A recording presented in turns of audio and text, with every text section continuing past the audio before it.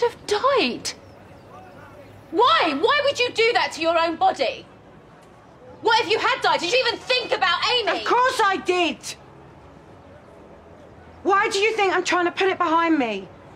Amy, she's, she's my whole life, all right? I just want to move forward and make things right. I think you should leave.